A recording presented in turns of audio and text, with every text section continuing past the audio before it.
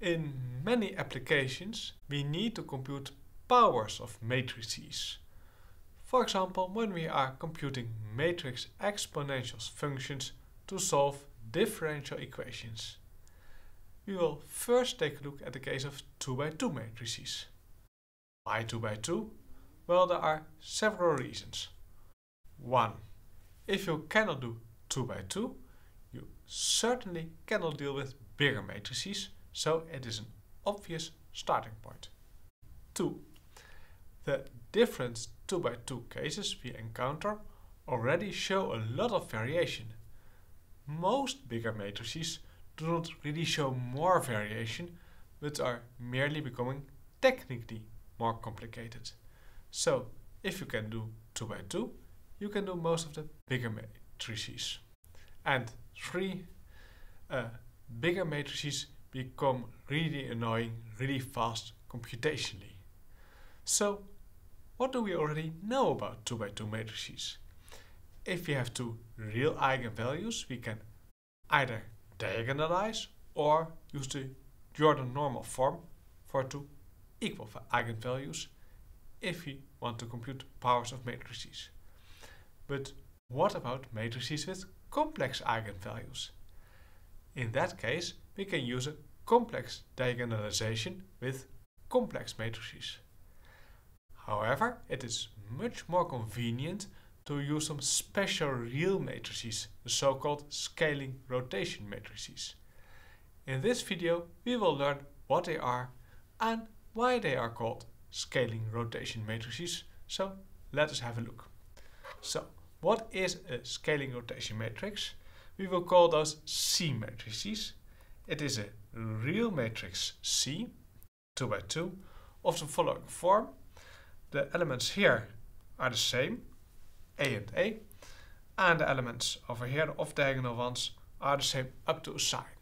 So a scaling rotation matrix is determined by two numbers, A and B.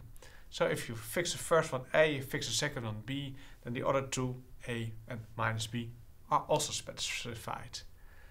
And we also impose a condition B is not equal to zero because, well, if you put B to zero, it becomes a bit silly. Then you just have a, a diagonal matrix.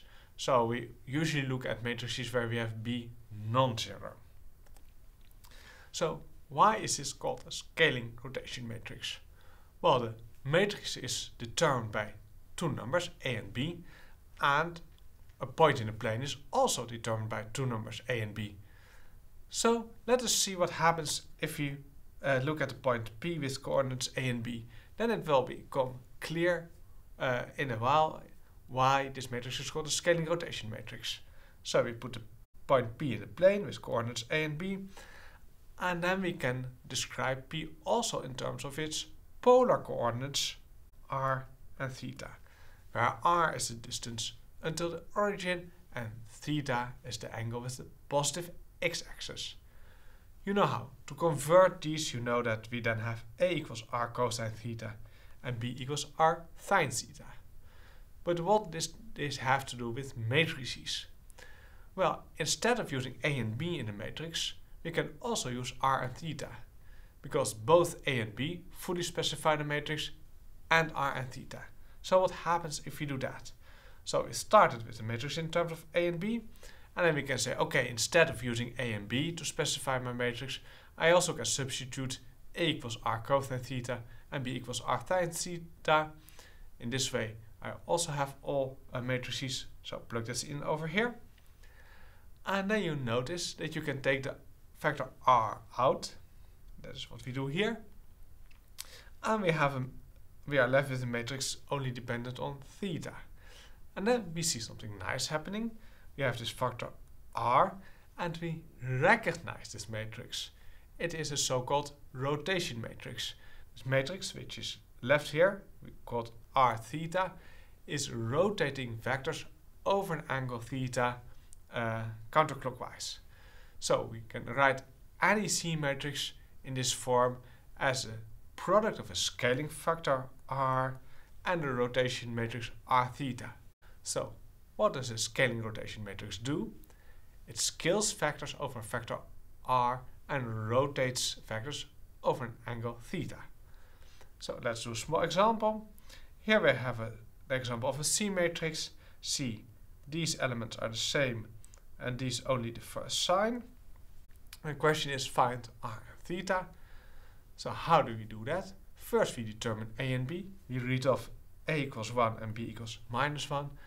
And then we can immediately determine r because we know r squared equals a squared plus b squared, for example from this figure.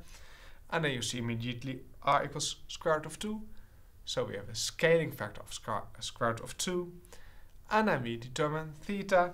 We plug in uh, a equals r cosine theta and b equals r sine theta.